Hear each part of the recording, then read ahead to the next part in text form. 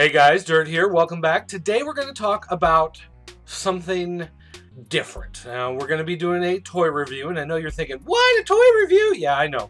That's what we're doing here today. But I'm usually when I come in here and I talk about a toy, we're working as some sort of advocate for you, whether or not we believe you should go out and buy it, or whether it's something that you should avoid and not buy.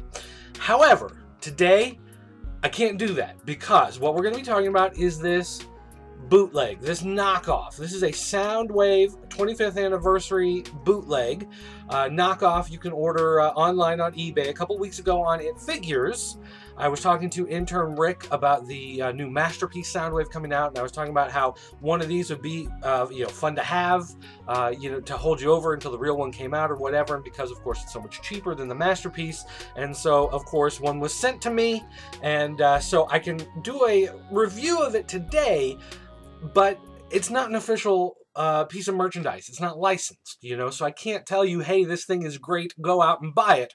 But we can take a look at it today, and that's exactly what we're going to do. At first glance, this knockoff Soundwave actually looks pretty good.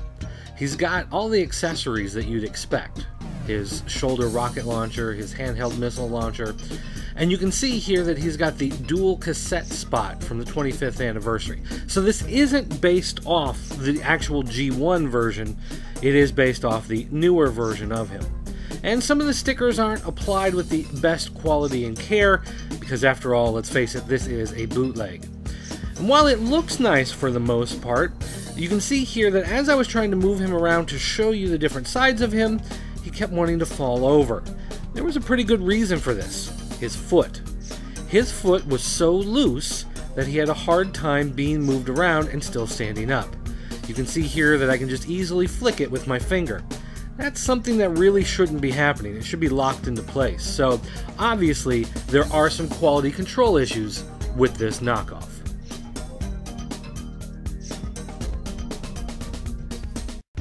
Now his transformation mode is pretty straightforward.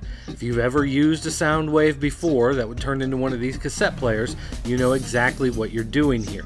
I will say, however, that some of the joints felt a little stiff. When moving his arms, I'm almost afraid I'm going to break it. Uh, and then here on the legs, this leg, when folded up, doesn't exactly go flush into the body. The uh, spot for the foot is just a little bit smaller than the spot where it's supposed to hook into. On one side it's fine, on the other side it just doesn't quite fit. Maybe if I loosen it with a screwdriver it might work, but there's just no way to force it without possibly breaking it. Now, except for this one foot that won't quite fit that will haunt me for the rest of my life, his alt mode actually looks pretty good. Switch on the side here actually moves. You've got the battery cover and belt clip on the back if you want to look handsome putting it on your belt. And you got the dial that turns on the side. You can even press the eject button and it opens and closes smoothly. It does come with this cardboard insert of the Ravage cassette, and it's just there so that you've got something to, uh, you know, cover that hole up when there's no actual cassette. But as you can see, again, except for that leg that doesn't quite fit, the alt mode looks pretty good. I remembered how amazed I was as a child when I learned that his weapons actually transformed as well. You can remove the missile out of the one, and remove the warheads off of the other to turn them into these shapes. If you're not familiar with these shapes, these are more or less the shapes of AA batteries. Now, what do you do with AA batteries? I know you ask yourself that all the time. Well, you're going to open the back of the sound recorder Soundwave and slide them in just like batteries on an actual cassette player. It's one of the greatest things that they did in the original Transformers line, and it's great to see that they've included it here. One small problem though, that battery cover is really cheap. It's difficult to get all the pieces to fit in the same spot at the same time because it's so pliable. No matter how hard I tried, I always had problems getting the two tabs at the top to fit at the same time the two tabs at the bottom would fit. And I was afraid to push it too hard because it does feel like some of it may snap somewhere along the line, and the last thing you want to do is break your new toy, even if it is a knockoff. So I did the best I could, and for the most part, I'm just going to live with a tab sticking out every so often. I mean, why not? I've got this leg that doesn't quite fold into place, right? Now this guy does come with two cassettes, the two cassettes that you'd expect. You get Laserbeak here, who is the bird that transforms into a cassette. And again, overall, he looks very nice. If you don't look too closely, you wouldn't really know that he's a knockoff in his bird form. But once you start taking off the weapons and folding them back into place, you start to realize that not everything folds back together the way it should. For instance, his beak sticks out a little bit. No matter how hard you push, it's not going in all the way. And when you turn them over, you can see that the label side actually looks pretty bad, and that's after I've readjusted them as best I could. So not only do the labels uh, not quite look right, but he'll never stand up correctly because that stupid beak just won't fold into place.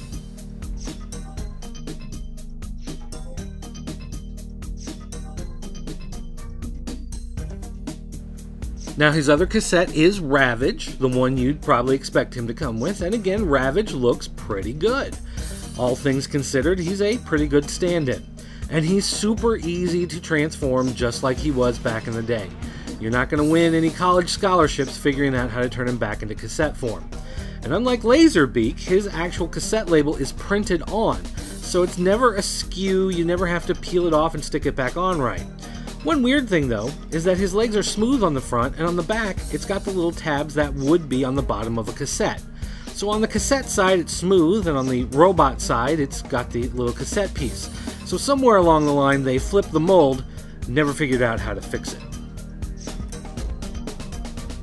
Now, as I said, this is made from the molds of the 25th anniversary Soundwave, so it does hold two cassettes. And yes, both cassettes you can fit inside this version. However, it's kind of a snug fit and you do have to finagle them a little bit. Some of the tabs on the inside aren't quite cut cleanly as they need to be.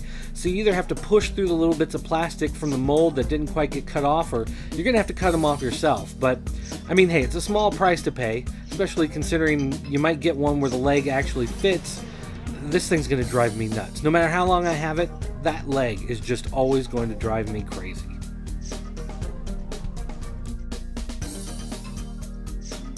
And as nice as it is to have a place for the batteries and the cassettes, what are you supposed to do with all the rest of this stuff? This doesn't have anywhere to go. It doesn't fold into anything. It doesn't attach to anything. You just have a pocket full of extra stuff with no place to put it. I dare say that in the land of knockoffs, this one overall is pretty good. Although you're going to keep them in robot mode, not alt mode. That alt mode just doesn't quite fit together right. But here in robot mode, actually looks really good. And while I can't tell you to buy him, I can't tell you not to. So, is the knockoff Soundwave a perfect replacement for either the 25th anniversary or the new Masterpiece? No, of course not. Uh, quality control issues are very lax on this one. Uh, there's no way you're going to be getting the same joy that you're going to get from holding uh, one of the actual, you know, Takara or uh, Hasbro figures. Um, it just it feels cheap. It's light. Things rattle. Um, you know, it's not 100% perfect, but is it a good thing to tide you over until you can actually purchase the more expensive masterpiece? Well, that's up to you to decide whether or not you want to go down that road. I'm not going to tell you one way or another whether you should or shouldn't buy it, but I will say that it is actually a nice looking piece to just leave as is in the uh, robot mode and leave it on your shelf. Uh, it does a pretty good job of being a stand-in for the actual figure, but nothing Nothing compares to having legitimate merchandise. All right, guys, thanks for watching. I'll see you next time.